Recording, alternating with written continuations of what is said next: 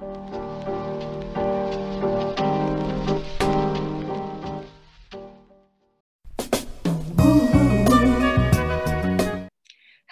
everyone, and welcome to Anteater TV's fourth episode of Shoot Your Zot.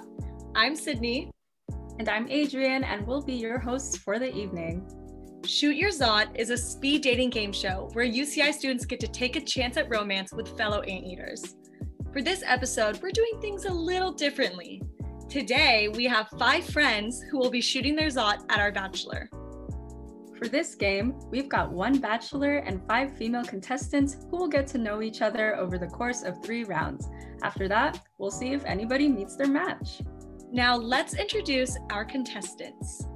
First up, we have Anteater number one. She is 20 years old and she is a junior psychological sciences major.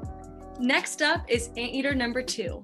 She is 20 years old and is a junior psychology major. Now we have Anteater number three. She is 20 years old and is a junior mathematics major. Next is Anteater number four. She is 22 years old and is a junior English major. And lastly, Anteater number five. She is 21 years old and is a junior criminology, law, and society major. Now that we've met all of our contestants, let's introduce you all to our bachelor.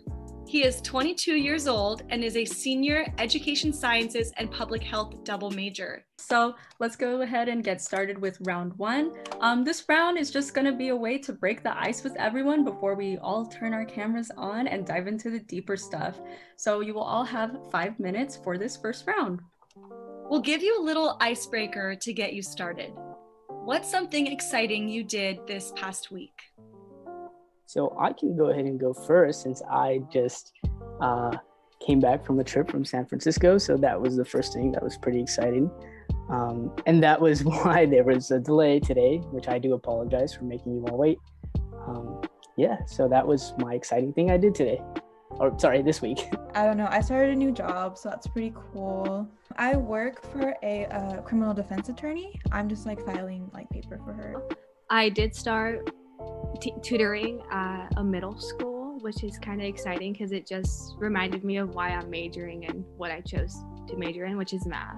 I am like still training at uh, my job. I start like my actual like first day is on Monday, but I got more training this week, and I'm nervous excited. So I went to Laguna Beach and ate tacos, but that was also with all of them. So it's really not that special because they were all there. I went to go get some boba after taking some midterms. So I think that's about it. Time is up for our speed first round. We will now take a brief break. Welcome back, everybody. We're now moving on to round two. In this round, our bachelor will turn on his camera and finally introduce himself to you all. Then he will ask general questions that each of you will answer one by one. When it is your first turn to answer, turn on that camera and introduce yourself.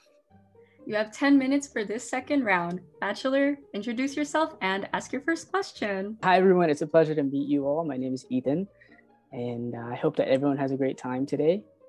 Uh, my first question to everyone is well, simply describe your ideal life. And for me, um, in simple terms, uh, briefly, I would just say my ideal life would be to always live a life that is full of love and, and passion and to always go after what you desire and yeah, live life to your fullest potential. Okay, so my ideal life. Um, I don't know if you've seen Soul recently, I but have. that movie really made me cry and I went out in the rain, really dramatic, romanticized my life after that. Um, and that really made me notice that I should like enjoy the little things and not worry about my purpose in life. So that's just in the little things. I would just always want to be happy. I don't know. I feel like I would never want to have the feeling of like, am I missing out? Should I be doing something else? Like, I want to have like a, a purpose and like feel confident in what I'm doing and just feel good about it. Hi, my name is Julia. I'm a math major, like you heard in the beginning. And I kind of live by this motto that a YouTube channel I watch, they're called Yes Theory. They represent and they live by, which is seek discomfort. So my my ideal life is just pretty much living day by day and doing things out of my comfort zone so I don't live my life in fear. Hello, my name is Valery, and I guess you can say I like to live on the adventurous side.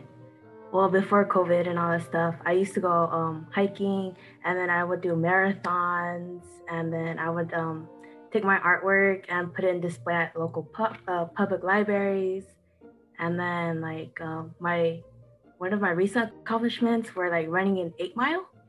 So I really want to do that. So I live in Irvine or like on campus, and I really want to try to run to Newport Beach before I leave campus. So those are one of my main goals right now. And I know you mentioned that you live life by adventure. Um, how do you feel about tattoos?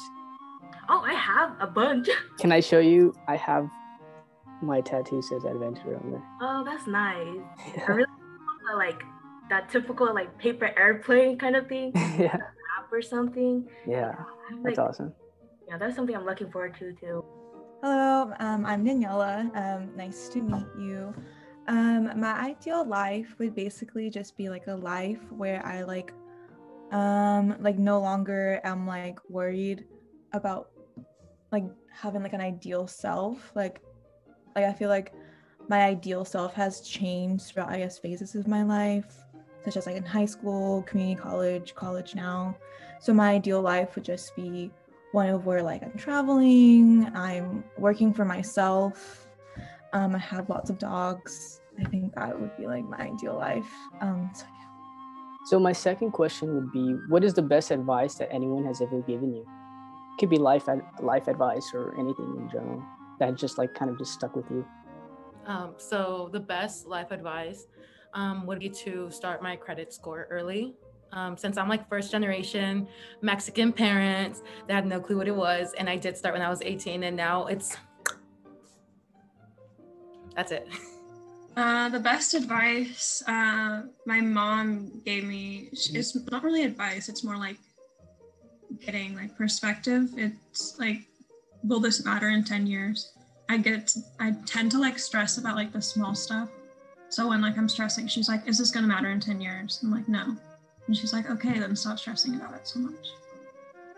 And that is very helpful for me.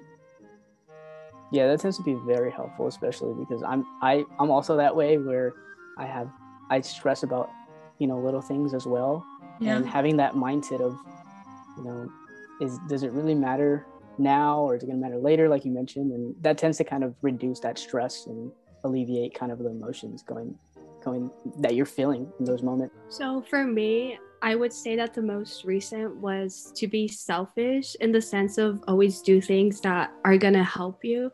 So let's say like you're friends with someone but they're really toxic because you know to- friendships can be toxic as well or they're just not making you happy or allowing you to be the best version of yourself that you should be selfish and not really consider their feelings about you walking away. So just knowing that it's going to hurt but that you need to overall do what's going to be best for you. Well, I'm, I'm happy to hear that you you you know you've successfully figured that out. And you know I, I also had to figure that out myself as well. And, and that just comes with time and experiences like you mentioned. Um, i also tended to put people before me and i had to learn the hard way that sometimes it's very um, it's very painful uh, to go through those processes. And uh, definitely takes a lot of healing time. But uh, yeah i hope that you you find that within yourself as well Um, I think mine would be always be kind. Um, because what my mom would say was like, do good and you receive good. So even though the person might be a mean person, um, just be nice because you don't know what they're going through and all that stuff. So just try to approach them as kindly, or if you can help, you can help instead of being like, um, oh, I have everything. I don't want to, you know, help. So yeah, that's what I try to live by. Like do good and receive good. Oh, um, hi. Okay, so um, my best advice uh, that has ever been given to me has been um, it's in Spanish. Well, I can translate it. It just means um, my gra- my grandma told me this. She said um, that there's a pro- there's a solution to every problem, and like to like not stress about like anything that comes my way because it's gonna work itself out basically. And so anytime I've ever had a problem that happened to me, whether it's like big or like small, I always like I get stressed out about it, but I have to remind myself that there's always going to be a solution to every single problem. And even though she was giving me that advice for like a, a small thing that happened, I lost a shoe and I needed it to go to formal. And it was like, and I was making a big deal about it, but still I apply it to like any anything. So that's probably like the most calming thing that advice I've been told. Yeah, awesome. Ethan, how would you ask um, answer that question? So the best advice that someone has given me, you know, there's been so many that I, so many epiphanies that I've had, but I think overall is just to always live the life that you want, whether or not it's difficult or whether or not there's going to be challenges along the way and to know that there will be those moments where you you think you failed or you will fail but you have to remind yourself that in order to succeed you have to go through those trials and errors. So i think that's probably one of the best life advice for me.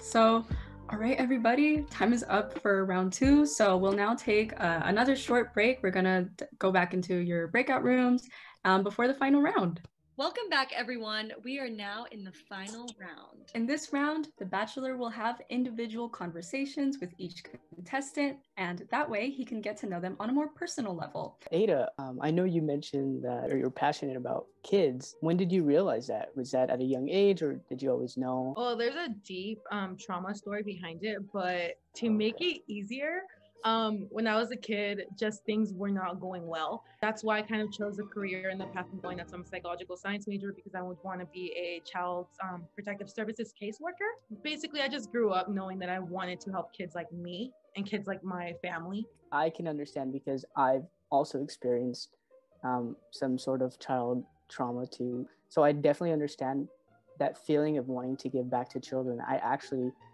uh, my mom works for a, a children's hospital. That's one of the reasons why I I'm choosing a medical route. Sorry, I don't know if you noticed, but I changed my outfit too. I put my overalls down. Yeah. Um, I was wondering we are gonna notice, but I guess not.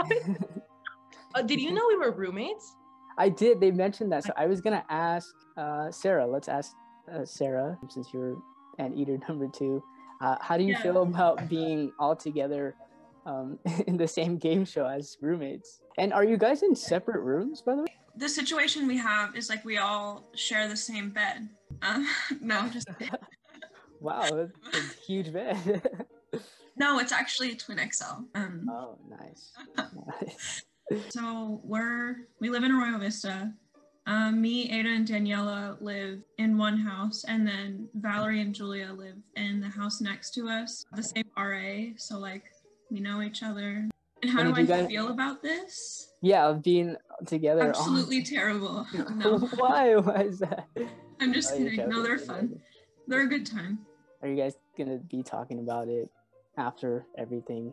You guys are gonna gather in your one twin XL bed. Yeah. And, and talk about it. Hey, you signed up for this. I did. Um, I did, that's and that's fine. that's, that's totally cool. That's totally cool. I just I know it's gonna happen after this. After this, I think I'm making them dinner. Oh, nice. Do you guys rotate? Like who makes dinner? I. Mm, it's not. Sarah, don't lie. It's usually me and you.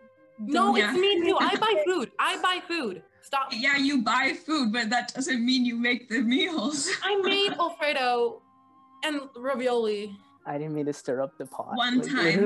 Okay, no, that was okay, one time, Ada. Oh. One time, one time. I'm only gonna cook one he time. I was about to say that she only cooks, but that. And then she made this pasta okay, once. I hey, hey, hey, you made this pasta one time, and she put so much red pepper flakes. Gigi Hadid's pasta. I wanted them to try. Okay, well you made it wrong. Haters. It killed me. I was dying. This always happens. You just have to yell at them to stop, or they're gonna. Is it always between Ada and Sarah? Yes. Yeah. Sometimes it's me and Daniella. Yeah. Okay. But it's. I think I'm just problematic. Is the thing. I'm the peacemaker between them. And you're going to be the teacher, correct? Yes. Do you Do you know what grade do you want to teach? I want to like, teach freshmen. High school I, or college? High, school. So I started tutoring two years ago, and there, it was a freshman algebra class. So I want to start off with freshman, and then from like there go to junior because that's when they learn pre-calc, and I like pre-calc, and then hopefully in the future math, like being a math professor. That's cool. Yeah, I, I mean, I love math too. It's fun. Do you find math fun? Am I the only one? It's like it's it's solving the problem, right? It's like you, your brain wants to figure something out. Interesting. And when when did you know that you were so drawn to math? In elementary school, the state wow. that you had to take, I got like a perfect score on the math portion. So ever Wow. ever since Snaps to that. thank you. Perfect score. Twice. Oh, now she's flexing on us. She's Uh, flexing on us. not, not to flex, and I had like a on my like in my room with my face that said 600 on it. Wow, big flex. So Valery, um, when did you when did you uh, get into running? I think since I was like in elementary school. So my dad like said we were fat. So he was like, you need to go run. So we wake up at like 6 a.m. and he would make us run at his pace and his pace was really fast. And so I got into running from there and then I stopped a little bit. And then starting high school, I um, went into track and field. So yeah, um, I did running and throwing. Um, after high school, I started running on my own. Awesome. So so you've actually like ran a marathon before. Yep. How Well, many have you? Three. How many? How many? Three. Three. Wow, that's a lot. That's a lot because each one is 24 miles, right? Yeah. Or about. Not all at once. Not all at once though. Oh, oh, okay, got it. So, uh, Daniella, uh, what what's your love language? I think I have a mix of I think they sound really conceited together, but it makes sense. Gift giving and then also acts of service. As uh, my emphasis on acts of service though, because I really appreciate when someone does something for me that isn't like a big deal. And I agree with like the thought of uh, the thought of someone giving you such a thoughtful gift is like it's different from them um, giving you something that maybe to them seems more like valuable or um, just expensive. I know a lot of people try and try and get the most expensive gift for people, which is which is fine sometimes, or um, if you prefer that. But uh, I'm definitely the one that has mostly given thoughtful gifts. Okay, so round three is up. We will now go into individual breakout rooms to see if Ethan and any of our contestants want to shoot their zot with each other. After the break, we'll reveal if Ethan has met his match or missed his Zot. Welcome back, everybody. So we are back and we have some results. Our bachelor, Ethan, has matched with Daniella, anteater number five. So congrats, y'all. um, Daniella, anything you want to say? Um, yeah, um, this was uh like fun. This was cool. Yeah, Julia basically said it. If you chose one of us, you got all of us. So it's a good vibe. And so as for our contestants, thank you all for still shooting your Zot. Thank you, everyone who participated. Uh, we hope you enjoyed the show. Right. Is that a knife? Oh my god. She's long, long, long. No, I was eating Nutella with a strawberry and I She's was holding it to pop. something. no, that's chill. I think one of them may have requested maybe to see you without the hat on. I don't know. You know? I was, you know, I was thinking that, but you know, I was wearing it earlier, and I have so my hair is like naturally, like wavy, but Take it. yeah, kind of like Hey, curly. yeah, yeah. Julia, don't peer pressure. um. But so when I put a hat on, it it flattens my hair, so it looks straight, and I don't like the way. It, I mean, it looks okay, but I, I don't really. I'll, I'll wear it. Like I I can take it off, but um, yeah, I prefer when my hair is like just naturally, like it looks uh, like volu- volum- voluminous. Is that a word? Yeah, voluminous, right? Do you or a friend want the chance to be featured on the next episode of Shoot Your Zot? Well, hop on over to tinyurl.com forward slash SYZ 2021 to sign up to have a chance to be on our next episode of Shoot Your Zot!